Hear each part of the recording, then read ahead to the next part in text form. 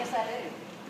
A tragic hero, uh, uh, a tragic hero usually dies, and sadly, he causes his own downfall, either from pride or um, bad choices. You know, he just doesn't make good decisions. He's at a crossroads, makes the wrong decision. You know, and, and whether he's on the pool there and he gets, where Oh, I'm, It's okay. it's all right, too late.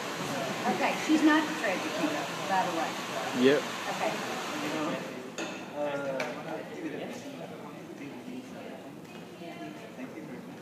Anytime. and with, with that, can you name a tragic hero? I'll give you some money. Oh, yes, and listen, I'm gonna get, I'm gonna name not only, um, a literary tragic hero, oh, that Macbeth. Macbeth, he is so full, he wants, he wants so much power, he wants, you know, he, he betrays everyone. You know, his king, his friends, and, and, and and Hamlet. You notice that some of these people are all in Shakespearean tragedies. Now, I'm gonna give you a real life tragic hero, and that's Steve Jobs.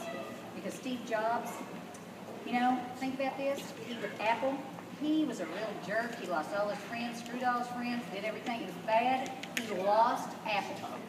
He lost Apple. Okay? And after he loses Apple, he has to lose everything. I mean, everything.